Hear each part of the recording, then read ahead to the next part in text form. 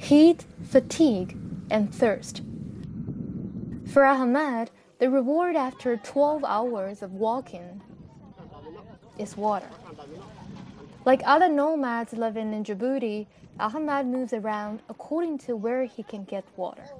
A good yield will sustain him for two days, only if he rations carefully. And all the searching is not always guaranteed to find water. So we have to send one guy to check. If there no if there is no water there, when he come back, he will tell to us there's no water there. So we have to keep our water. We we have to give give animals. We have to cook for the kids and for everything. It's enough. So that's why we have to come every day then here and check the water or not. As for the water cleanness issue, Ahmed says it is a problem they cannot afford to think about. You see, upstairs it's open. Everything can be inside the water. Nobody can protect this water. Nobody can save this water. So we are not, we are no choice.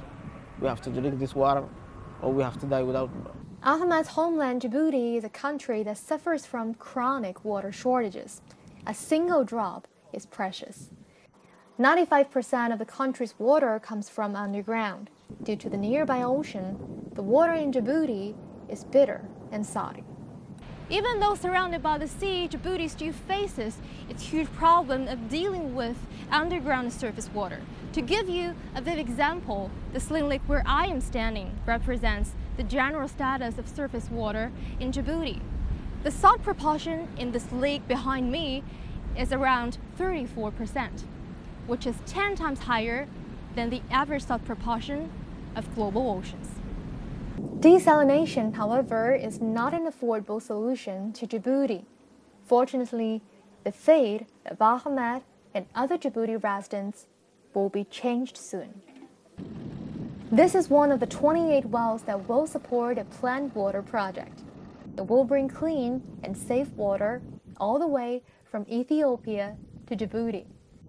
Lu Jinda is the project manager at this water project that will bring nearly 82% of the population in Djibouti. It has been six months since we started construction. This cross-border water project is the largest of its kind in Africa. The water quality has been tested in this area. It can meet the World Health Organization standards for drinking water. The entire route for the pipeline will extend 360 kilometers. 60 of those kilometers will require the builders to break through these unfriendly rocks. As we drive further along the project route, the environment becomes even more inhospitable. Sometimes we have to stop shooting due to heavy winds and dusty conditions. Sium is an Ethiopian consultant who has worked in the industry for more than two decades. His job is to inspect the new project. So for the last six months, the Chinese company has fully engaged how to implement this project in this area. As you see, the area is very harsh, very desert area. With all these uh, circumstances, they tried to withstand this problem and started the project with this Chinese company. They are doing well. They are doing perfect now. A few hundred kilometers away in Addis Ababa, the capital city of Ethiopia, Asta Molla is enjoying the benefit of one completed water project. Before February this year, Asta only had access to water two to three times per week. Yeah, when this project is coming, we can drink because we are clean. Before we never drank, we buy like uh, packed water, but now we can drink here. Also, we can cook food by this water. We can wash our body or something. This Deep Wells Water Supply project has benefited nearly 700,000 residents like Asta. 那么，实际上埃塞的水资源的储量是非常丰富的，但是呢，开发利用的非常有限。The water resources in Ethiopia are abundant. The problem is the limit of utilization for these resources. Our company came to Ethiopia more than a decade ago. We've helped them to build several water plants. The pump station is used for the Deep Water project, which is able to cover 20% of the clean water usage every day in the capital city.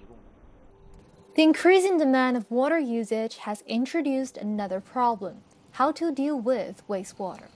For now, wastewater just flows into the river and is harmful to the environment. The country's first wastewater treatment plant is under construction and will be completed late next year. In its neighboring country, Djibouti, within 20 months, Ahmed and 750,000 other residents will also be able to enjoy clean and safe water. When we asked him what this water project means to him, he said it means hope. 徐文静，CCTV。